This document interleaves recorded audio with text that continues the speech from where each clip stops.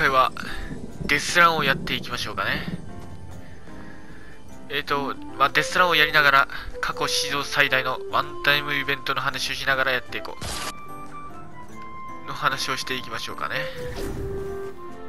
2018年11月にあったシーズン何かちょっとシーズン5ぐらいかだったかな。の時にキュキューブがいたらしくてあこれ俺か。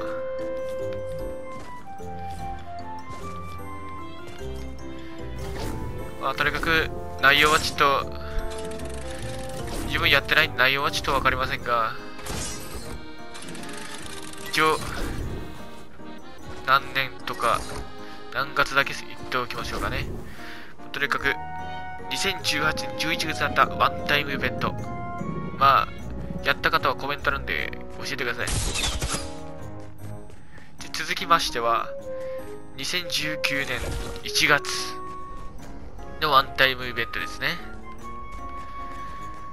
これは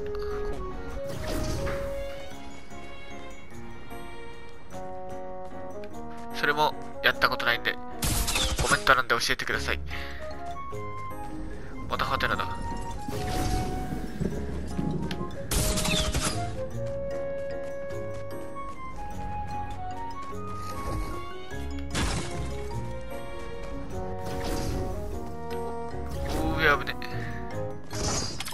てで続きましては2019年5月のあったワンタイムイベント。よ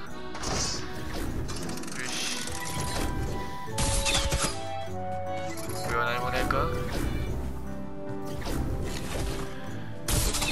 よし。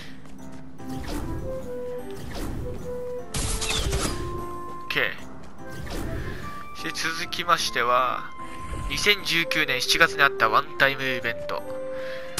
これもやったことないんで説明しようがありません。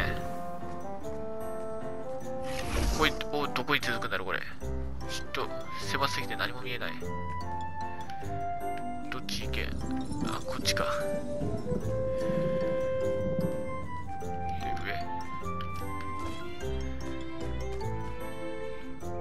上。で、ここ、ちょっとここ、これを抜けてからちょっと言いますね。と待ってください。よし、OK。狭いな。で、続きましては、2019年10月。2019年多いね。あれ、4回ぐらいあったのか。ワンタイムイベント。2019年10月。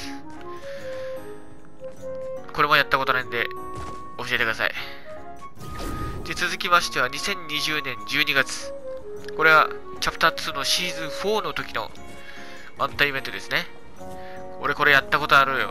ワンタイイベント、この。このワンタイムイベントやったことある。あ、ぶだ。よ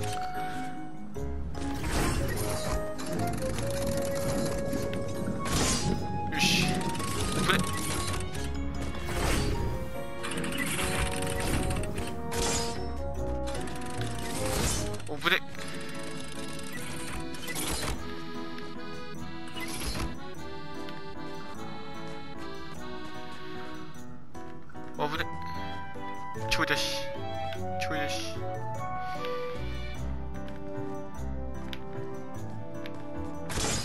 危ねして今度2021年8月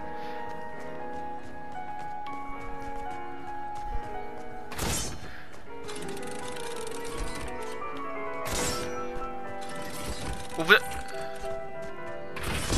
あいてき刺さる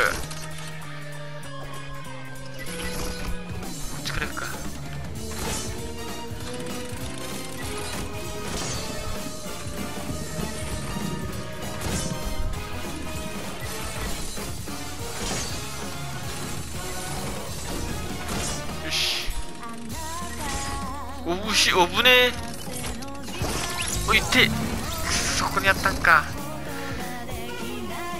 で、アリアナグランデですね。アリアナグランデのワンタイベントもなかなか良かったよ。よし。よし。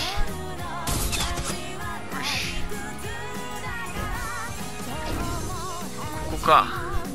で、次、次次は2021年の9月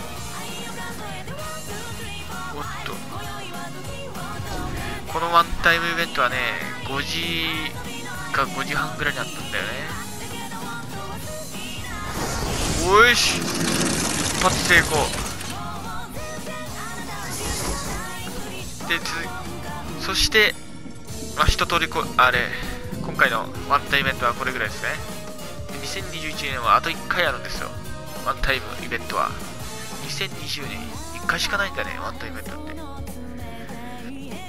それが今回お話あ今回お話しするチャプター2のフィナーレということでこっちだ。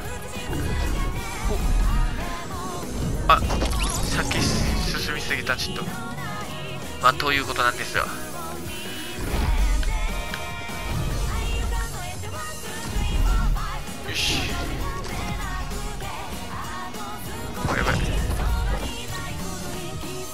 まあ一通りあれワンタイムイベントの話は以上かなこれで。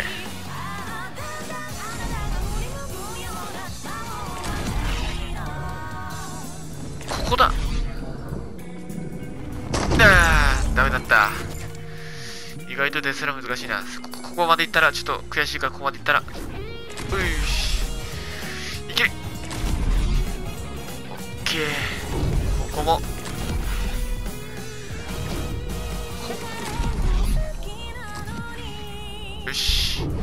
最後ここ行ったら終わろうかな。オッケーよしよし。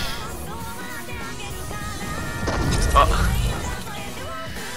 最後あそこ着地したら終わろうかな。って言いながらまたやりそうな気が気もするけど。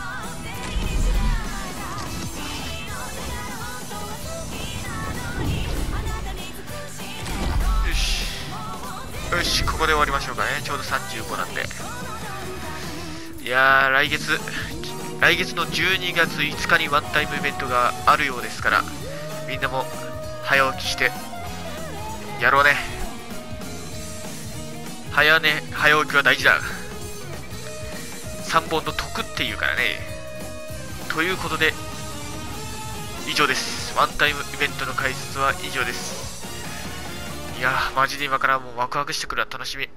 ということで本日はまたな。